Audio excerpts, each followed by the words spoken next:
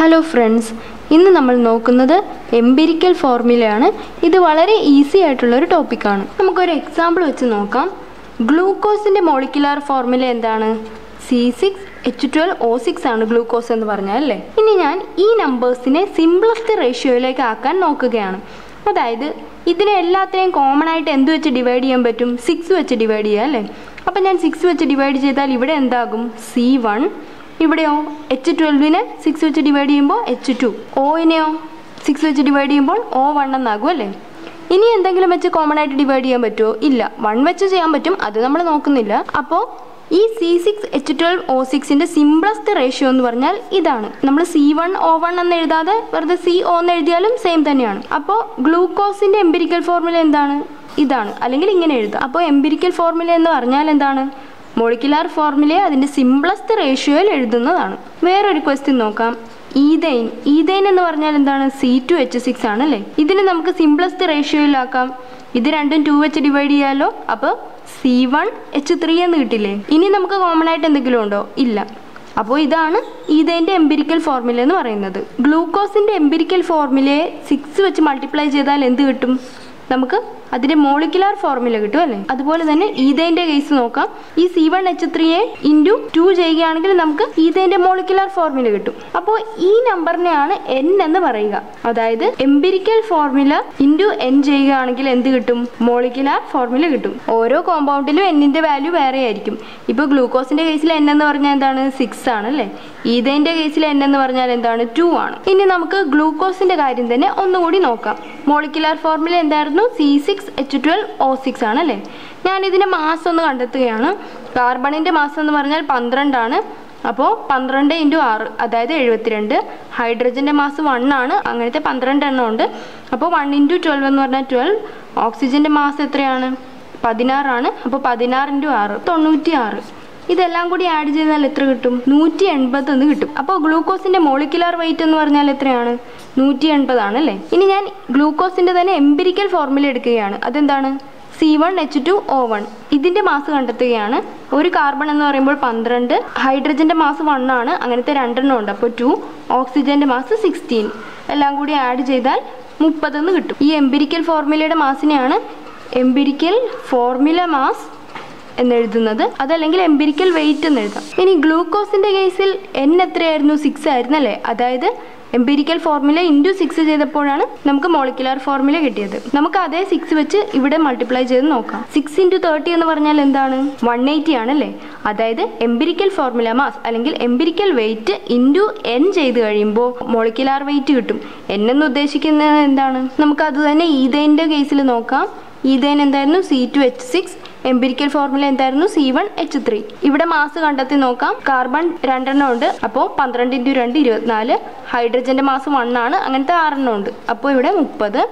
ഇനി C one H three mass എത്രയാണ്? കാർബണിന്റെ പന്ത്രണ്ട് ഹൈഡ്രജൻ എന്ന് പറയുമ്പോൾ ഇവിടെ മൂന്ന് അതായത് പതിനഞ്ച്. നമ്മൾ നേരത്തെ നോക്കിയായിരുന്നു ഈതേന്റെ കേസിൽ എൻ എന്ന് പറഞ്ഞാൽ എന്തായിരുന്നു? ടു ആയിരുന്നു അല്ലേ? എംപിരിക്കൽ ഫോർമുല ഇന്റു ടു ചെയ്യുമ്പോഴാണ് നമുക്ക് മോളിക്കുലാർ ഫോർമുല കിട്ടുന്നത്. അതുപോലെ തന്നെ ഇവിടെ പതിനഞ്ച് ഇന്റു ടു ചെയ്യുമ്പോൾ നമുക്ക് മുപ്പത് കിട്ടും. അതായത് എംപിരിക്കൽ ഫോർമുല ഇന്റു എൻ ചെയ്യുമ്പോൾ നമുക്ക് മോളിക്കുലാർ ഫോർമുല കിട്ടുമെങ്കിൽ എംപിരിക്കൽ വെയിറ്റ് അല്ലെങ്കിൽ empirical formula mass into N ചെയ്യുമ്പോൾ നമുക്ക് എന്ത് കിട്ടും? മോളിക്കുലാർ വെയിറ്റ് അല്ലെങ്കിൽ മോളിക്കുലാർ മാസ് കിട്ടും. അങ്ങനെയാണെങ്കിൽ ഒരു ക്വസ്റ്റ്യൻ നോക്കാം. A compound has molecular weight ninety and its empirical formula C H O two find molecular formula അതായത് നമുക്ക് ഒരു കോമ്പൗണ്ടിന്റെ മോളിക്കുലാർ വെയിറ്റും എംപിരിക്കൽ ഫോർമുലയും തന്നിട്ടുണ്ട്. അത് ഉപയോഗിച്ച് മോളിക്കുലാർ ഫോർമുല കണ്ടെത്താനാണ് പറഞ്ഞത്. എംപിരിക്കൽ വെയിറ്റ് തന്നെയാണ് എംപിരിക്കൽ ഫോർമുല മാസം എന്നൊക്കെ പറയുന്നത്. ഇന്റു എൻ ആണ് മോളിക്കുലാർ വെയിറ്റ് ഇതിൽ നിന്ന് N equal to molecular weight divided by empirical weight എന്നെഴുതാമല്ലോ molecular weight എത്രയാണെന്ന് തന്നിട്ടുണ്ട്? നയന്റി ഇനി എംപിരിക്കൽ ഫോർമുല മാസ് അല്ലെങ്കിൽ എംപിരിക്കൽ വെയിറ്റ് എന്ന് പറഞ്ഞാൽ എത്രയായിരിക്കും? Empirical formula C H O two എന്നല്ലേ തന്നിരിക്കുന്നത്. അപ്പോൾ മാസ് കണ്ടെത്താലോ? ഒരു കാർബണിന്റെ മാസ് പന്ത്രണ്ട് ഒരു ഹൈഡ്രജന്റെ മാസ് ഒന്ന് രണ്ട് ഓക്സിജൻ എന്ന് പറയുമ്പോൾ മുപ്പത്തിരണ്ട്. അപ്പോൾ നാൽപ്പത്തി അഞ്ച് അപ്പോൾ ആൻസർ എത്രയാണ്? Two N equal to two എന്ന് കിട്ടി. ഇനി ഇവിടെ ഒരു ഇക്വേഷൻ ഉണ്ടല്ലോ. Empirical formula into N equal to molecular formula empirical formula എന്താണ്? C H O two into two ചെയ്താൽ എന്ത് കിട്ടും നമുക്ക്? മോളിക്കുലർ ഫോർമുല കിട്ടും. C two H two O four അതല്ലേ മോളിക്കുലർ ഫോർമുല അപ്പോൾ അടുത്തൊരു ക്വസ്റ്റ്യൻ നോക്കാം. A compound has vapour density forty five empirical formula തന്നിട്ടുണ്ട്. ഇനി അതിന്റെ മോളിക്കുലാർ ഫോർമുല കണ്ടെത്താനാണ് പറഞ്ഞത്. വേപ്പർ ഡെൻസിറ്റി തന്നിട്ട് മോളിക്കുലാർ വെയിറ്റ് കണ്ടെത്താൻ പറഞ്ഞാൽ ഈസിയാണ് വേപ്പർ ഡെൻസിറ്റി ഇന്റു ടു ചെയ്താൽ മോളിക്കുലാർ വെയിറ്റ് കിട്ടും. അപ്പോൾ ഇവിടെ മോളിക്കുലർ വെയിറ്റ് എത്രയാണ്? നയന്റി അല്ലേ വന്നത്? ഇനി നമുക്ക് എൻ കണ്ടെത്താമല്ലോ. എൻ എന്ന് പറഞ്ഞാൽ എന്തായിരുന്നു? Molecular weight divided by empirical formula weight empirical formula എന്ന് പറഞ്ഞാൽ ഇവിടെ സി എച്ച് ഒ ടു ആണ്. അതിന്റെ വെയിറ്റ് അല്ലെങ്കിൽ മാസ് കണ്ടെത്താം. കാർബൺ ട്വൽവ് ഹൈഡ്രജൻ വൺ ഓക്സിജന്റെ sixteen into two thirty two forty five ആണ് വന്നത്. അപ്പോൾ forty five equal to two molecular formula കണ്ടെത്താലോ? എങ്ങനെയാണ്? എംപിരിക്കൽ ഫോർമുല ഇന്റു എൻ അതായത് ടു ആണ് മോളിക്കുലാർ ഫോർമുല അതായത് C two H two O four അടുത്തൊരു question നോക്കാം. ഇനി കോമ്പൗണ്ട് അതായത് ഒരു കോമ്പൗണ്ടിൽ കാർബൺ നാൽപ്പത് ശതമാനവും ഹൈഡ്രജൻ ആറ് പോയിന്റ് ഏഴ് ശതമാനവും ഓക്സിജൻ അമ്പത്തി മൂന്ന് പോയിന്റ് മൂന്ന് ശതമാനവുമാണ് ഉള്ളത്. ബൈ വെയ്റ്റ് എന്ന് പറഞ്ഞാൽ ഉദ്ദേശിക്കുന്നത് നൂറ് ഗ്രാം കോമ്പൗണ്ട് എടുക്കുകയാണെങ്കിൽ അതിൽ നാൽപ്പത് ഗ്രാം എന്തായിരിക്കും? കാർബൺ ആയിരിക്കും. അതിൽ ആറ് പോയിന്റ് ഏഴ് ഗ്രാം എന്തായിരിക്കും? ഹൈഡ്രജൻ ആയിരിക്കും. അതിൽ അമ്പത്തി മൂന്ന് പോയിന്റ് മൂന്ന് ഗ്രാം ഓക്സിജൻ ആയിരിക്കും. അതാണ് അതിന്റെ മീനിങ് എന്ന് പറയുന്നത്. ആ കോമ്പൗണ്ടിന്റെ മോളിക്കുലാർ മാസ് നമുക്ക് തന്നിട്ടുണ്ട് സിക്സ്റ്റി ആണല്ലേ? ഇനി അതിന്റെ മോളിക്കുലാർ ഫോർമുലയാണ് നമുക്ക് കണ്ടെത്തേണ്ടത്. ഇതുപോലെ ഓരോ എലമെൻസിന്റെയും വെയിറ്റിന്റെ പേഴ്സന്റേജ് ആണ് നമുക്ക് തന്നിരിക്കുന്നതെങ്കിൽ ചെയ്യേണ്ട മെത്തേഡാണ് നമ്മളിനി നോക്കുന്നത്. ഞാനൊരു ടേബിൾ വരച്ചിട്ടുണ്ട്. ഇതിൽ ആദ്യം എലമെന്റ് എലമെന്റ് എന്ന് പറഞ്ഞാൽ ഈ കോമ്പൗണ്ടിൽ എന്തൊക്കെ എലമെന്റ്സ് ഉണ്ടെന്നാണ് നമ്മൾ എഴുതേണ്ടത്. എന്തൊക്കെയുണ്ട്? കാർബൺ ഹൈഡ്രജൻ ഓക്സിജൻ ഉണ്ടെന്ന് അവർ തന്നിട്ടുണ്ട് അല്ലേ? അതെഴുതി. ഇനി പെർസെന്റേജ് കാർബൺ എത്ര പെർസെന്റേജ് ആയിരുന്നു? നാൽപ്പത് hydrogen six point seven oxygen fifty three point three percentage ഇതൊക്കെ ക്വസ്റ്റിനിൽ തന്നിട്ടുണ്ട്. ഇനി അടുത്ത കോളം അറ്റോമിക് വെയിറ്റ് ആണ്. അറ്റോമിക് വെയിറ്റ് എത്രയാണ് കാർബണിന്റെ പന്ത്രണ്ടാണ് ഹൈഡ്രജന്റെത് വൺ ആണ്. ഓക്സിജന്റെ എത്രയാണ്? സിക്സ്റ്റീൻ ആണ്. ഇനി അടുത്തത് അറ്റോമിക് റേഷ്യോ ആണ്. അറ്റോമിക് റേഷ്യോ എന്ന് പറഞ്ഞാൽ നമ്മൾ ചെയ്യേണ്ടത് ഈ പേഴ്സന്റേജിന്റെ കോളത്തിലെ വാല്യൂ ഡിവൈഡഡ് ബൈ ഈ അറ്റോമിക് വെയിറ്റ് ആണ് ചെയ്യേണ്ടത്. അതായത് നാൽപ്പത് ബൈ പന്ത്രണ്ട് അതുപോലെ six point seven by one fifty three point three by sixteen ഞാൻ ഓരോന്നിന്റെ ആൻസർ എഴുതുകയാണ്. നാൽപ്പത് ബൈ പന്ത്രണ്ട് എന്ന് പറഞ്ഞാൽ ത്രീ പോയിന്റ് ത്രീ ത്രീ എന്ന് കിട്ടും. Six point seven divided by one എന്ന് പറഞ്ഞാൽ സിക്സ് പോയിന്റ് സെവൻ തന്നെ. Fifty three point three divided by sixteen എന്ന് പറഞ്ഞാൽ ത്രീ പോയിന്റ് ത്രീ ത്രീ തന്നെയാണ് കിട്ടുക.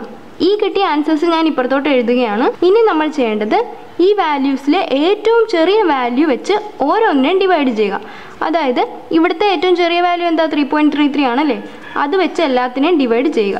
അപ്പോൾ three point three three divided by three point three three എന്ന് പറഞ്ഞാൽ എത്രയാണ്? One six point seven divided by three point three three എന്ന് പറഞ്ഞാൽ ഏകദേശം ടു എന്ന് കിട്ടും. Three point three three divided by three point three three എന്ന് പറഞ്ഞാൽ വൺ അപ്പോൾ ഇതാണ് നമ്മുടെ സിംപ്ലസ്റ്റ് റേഷ്യോ അതായത് കാർബൺ ഒരെണ്ണം ഹൈഡ്രജൻ രണ്ടെണ്ണം ഓക്സിജൻ ഒരെണ്ണം. അപ്പോൾ എന്തായി മാറി? C one H two O one അല്ലെങ്കിൽ സി എച്ച് ടു ഒ ഇതാണ് എംപിരിക്കൽ ഫോർമുല അപ്പോൾ നമ്മൾ ഇത്രയും ചെയ്താൽ നമുക്ക് കിട്ടുന്നത് എംപിരിക്കൽ ഫോർമുലയാണ് ഇനി നമുക്ക് എംപിരിക്കൽ ഫോർമുല ഉപയോഗിച്ച് മോളിക്കുലാർ ഫോർമുല കണ്ടെത്തണം. അപ്പോൾ നമുക്ക് ആദ്യം എൻ കണ്ടെത്താം. എൻ എന്ന് പറഞ്ഞാൽ എന്തായിരുന്നു? മോളിക്കുലാർ വെയിറ്റ് അത് അറുപതാണെന്ന് ക്വസ്റ്റ്യനിൽ തന്നിട്ടുണ്ട്. ഡിവൈഡഡ് ബൈ എംപിരിക്കൽ ഫോർമുലയുടെ വെയിറ്റ് അതായത് സി എച്ച് ടു ഒ അല്ലേ? മാസ് എത്രയാണ് കാർബൺ പന്ത്രണ്ട് ഹൈഡ്രജന്റെ വണ്ണാണ് അങ്ങനത്തെ രണ്ടെണ്ണം ഉണ്ട്. ഓക്സിജൻ പതിനാറ്.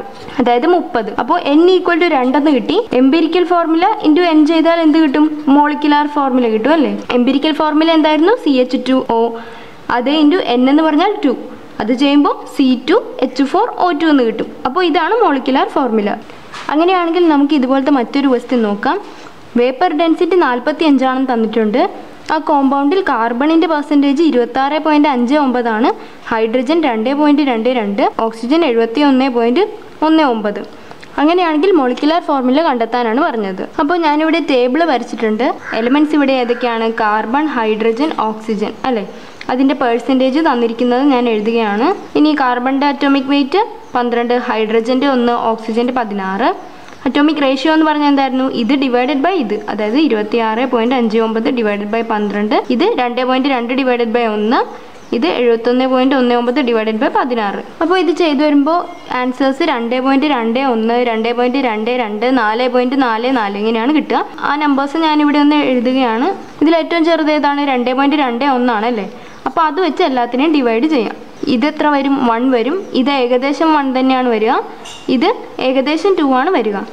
അപ്പോൾ നമ്മുടെ സിംപ്ലസ്റ്റ് റേഷ്യോ എന്താണ്? വൺ വൺ ടു അതായത് ഇതാണ് എംപിരിക്കൽ ഫോർമുല ഇനി നമുക്ക് വേപ്പർ ഡെൻസിറ്റി നാൽപ്പത്തഞ്ചാണെന്ന് തന്നിട്ടുണ്ട് അല്ലേ? അപ്പോൾ മോളിക്കുലാർ മാസ് അല്ലെങ്കിൽ മോളിക്കുലാർ വെയിറ്റ് എന്ന് പറഞ്ഞാൽ എത്രയാണ്? നാൽപ്പത്തഞ്ച് ഇന്റു രണ്ട് അതായത് തൊണ്ണൂറ്. നമ്മുടെ എംപിരിക്കൽ ഫോർമുല എന്തായിരുന്നു? C one H one O two empirical formula mass എന്ന് പറഞ്ഞാൽ എന്താണ്? സി വൺ എന്ന് പറയുമ്പോൾ കാർബൺ ഒരെണ്ണം അതായത് പന്ത്രണ്ട് എച്ച് വൺ എന്ന് പറയുമ്പോൾ ഒരു ഹൈഡ്രജൻ ഒ ടു എന്ന് പറയുമ്പോൾ പതിനാറ് ഇന്റു രണ്ട് മുപ്പത്തിരണ്ട് അതായത് നാൽപ്പത്തി അഞ്ച് അപ്പോൾ എൻ എങ്ങനെ കണ്ടെത്താം? Molecular mass divided by empirical formula mass അതായത് ടു ഇനി എൻ കിട്ടിയല്ലോ? അപ്പോൾ എംപിരിക്കൽ ഫോർമുല ഇന്റു എൻ ചെയ്യുമ്പോഴാണ് എന്ത് കിട്ടുക?